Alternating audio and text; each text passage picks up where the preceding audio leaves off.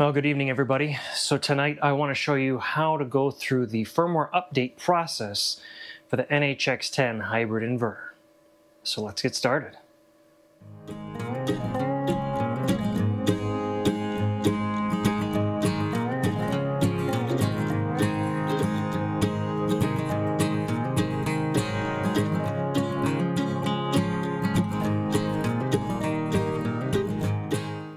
So the NHX hybrid inverter has two different components that have firmware that can be updated.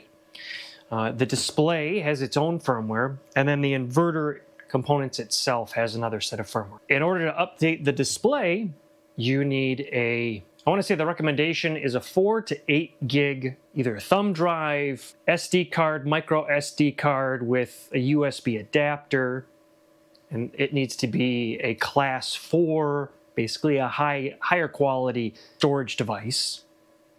And then the inverter itself, you need a Windows computer or a Mac running a Windows operating system, I would imagine would work as well, and then a USB-C cable because the port to connect to the inverter is a USB-C port.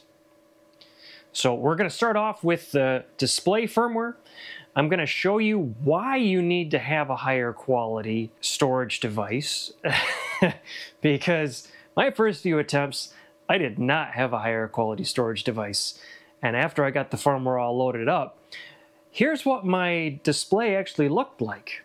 The entire process looked like it went through fine. I could not understand any of the text labels throughout any of the pages on the inverter. It was only by, I, I, tried factory resetting, I tried a whole bunch of different stuff, and it didn't work. And ultimately, once I got to a higher quality storage device that I used to update the firmware, that's when it actually wrote properly. So there was some kind of a corruption there. So if you end up going through the firmware process and you end up seeing, you know, what I just showed you, you need to get a better storage device for the update. So I have a PNY Optima 4 gig thumb drive from years ago. So we'll plug that into the computer. So Ian told me that the firmware is going to be loaded onto the Watts 24-7 website. At this current time, it's not, but when I get those links, I'll make sure to put them down in the description below.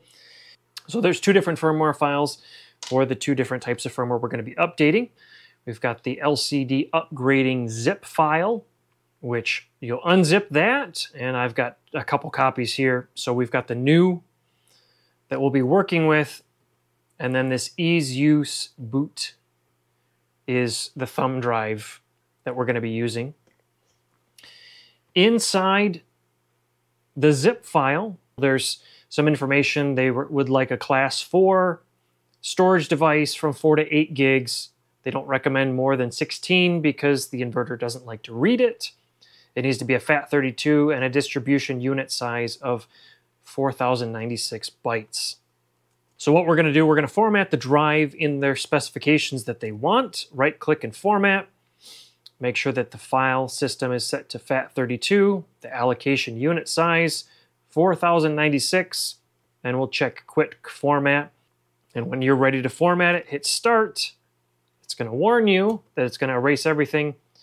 And then it, with a quick format, it should be done in a matter of a few seconds. Format complete. We'll close this window out and we will reopen our thumb drive. Now what the inverter wants for the display is this XRD underscore TFT folder. We're going to copy this and paste this onto our thumb drive.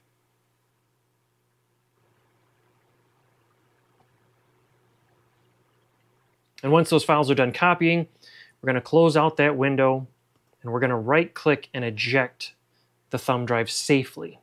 And then we can pull the drive out and head over to the inverter.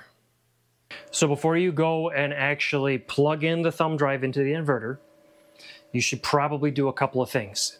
You should go through and turn off your PV disconnect, turn off the RSD switch, turn off your AC output, and your grid input.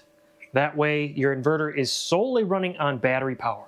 You're not going to have any accidental unknown power losses when you're updating your firmware. Now, your inverter should be fine and shouldn't restart when you're doing your display firmware, but when you go to do the actual inverter firmware later, it will restart. So you might as well get it all prepped and ready to go with the first firmware update that you're gonna do. So I'll turn off my AC output, turn off the PV switch, and press the RSD button. Power might go out on the display for a second and then come back, and then it's in battery mode only and I already had my grid input turned off. So you're going to end up taking the faceplate off the bottom here. And where you need to plug in the thumb drive is all the way over to the right, that USB port right over there.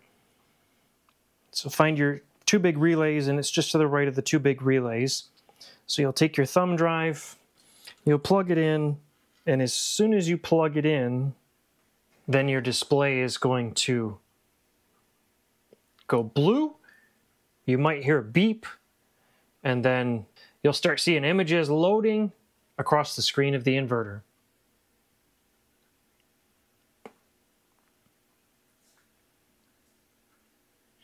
If your screen goes black, it beeps and then it comes back to your regular inverter screen. There's something about the thumb drive that the inverter does not like. So you can try again or find a different thumb drive. And the last step of the firmware update process for the display is actually a calibration of the screen, which is awesome. So there'll be five touch points that you need to press. So you'll press the crosshair, top left, top right, bottom right, bottom left, and center. Calibration is complete, and then it should reload the main display of the inverter. And then once the update's done, don't forget to unplug your thumb drive. You don't want the inverter rebooting and then starting an update again on the display firmware when you're not expecting it. Don't ask me how I know that. So we've got the display firmware updated, and now we're going to switch gears and do the actual inverter firmware. And that's going to require downloading some files from the Watts 24-7 website or getting them from Ian. And we're going to plug our Windows computer into a USB-C port down on the opposite side of the circuit board in the wiring compartment. And then we're going to run a program to push two updates up to the inverter. So I've got my laptop on a chair down here right by the inverter. I'm going to take my USB-A to USB-C cable plug in the USB A side into the laptop, and we'll take the USB-C side, and this USB-C port is right here to the left of these network jacks. And so we're going to plug that right in there. And so for the firmware update for the inverter, we're going to want to go into this ARM and DSP upgrading zip folder. We're going to want to unzip that. You can right click and extract all creates a new folder. But what you're going to want to do is you're going to want to run this setup.exe file to install a program to push the changes up to the inverter. And then that will install a shortcut on your desktop. You'll run that shortcut. Make sure you're on the proper COM port, which I only have COM3. You're going to want to import. You may have to navigate to the folder that you we're working out of from the ARM and DSP upgrading folder, but you need to select the AXF file first, hit open, and then upgrade. And you see progress going. You may hear a few clicks on your inverter during uh, right at the beginning, but it'll push those change that change. Your inverter will click some more, probably reboot. I guess not. And you can see here, there was zero transfer errors, zero image faults in this upgrade. So then the next thing you want to do is import the output file. And hit open, and then run the upgrade. And it starts pushing those changes up to the inverter. 100% complete. So you can go and unplug your cables, put your computer away, and then what I like to do after updating the firmware on any device, if it doesn't do it on its own, which I can't remember if this did it on its own before, but I like to do a full system shutdown and reboot to make sure that it starts fresh on the new firmware. So I'll turn off my battery breaker, the display will go off, pre-charge the capacitors in the inverter first, display comes back on, and then I can turn on my battery connection.